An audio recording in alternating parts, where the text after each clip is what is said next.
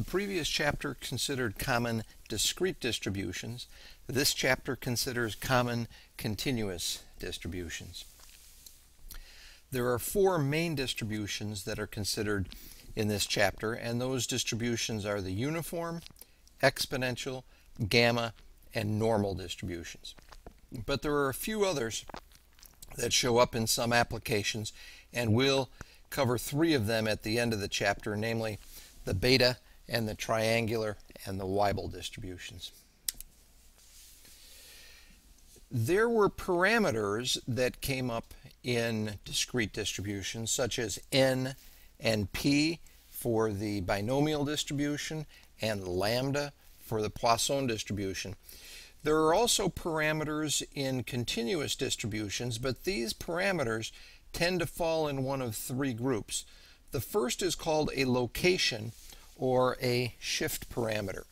So for example, when we get to the normal distribution, you will see that the shorthand for the normal looks like this. So this says a random variable is normally distributed with a mean, population mean mu, and a population variance sigma squared.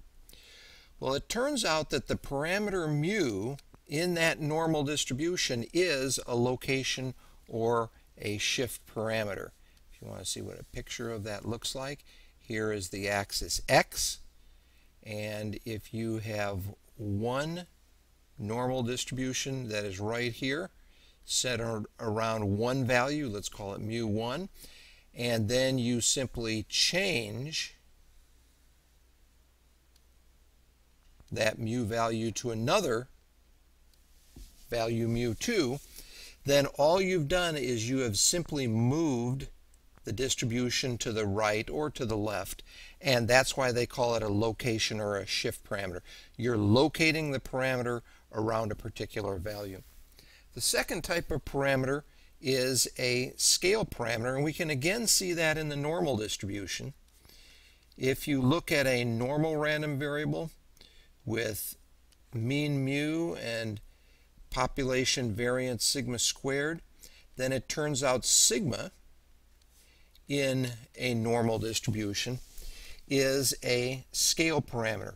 And what sigma does is it draws in the, if, if sigma happens to be small, then you'll have this same shape to the distribution, but the axis will reflect that it is more tightly clustered.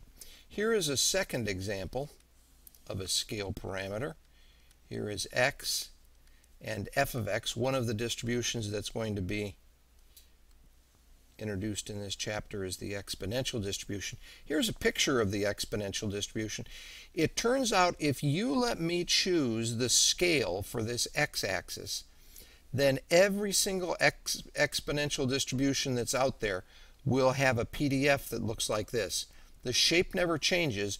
It's always the same. The only difference is in the scale, and that is the scale parameter. Finally, you've got location, scale. Finally, you have shape parameters. And here is x, and here is f of x.